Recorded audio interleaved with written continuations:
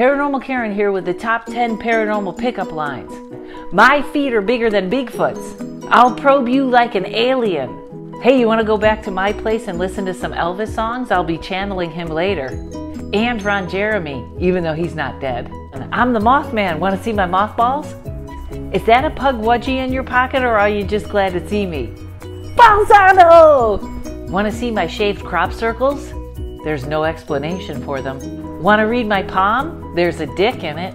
I'd like to meet you on a paranormal dating site where we meet, have sex, and then ghost each other. Don't have sex with him, have sex with me. Sex with him is like using a Ouija board. Everyone sits around for hours waiting for something to move, and then when it finally does, everyone swears they weren't touching it. And the number one paranormal pickup the truth is out there, and the truth is in my pants, and the truth hurts. Balzano!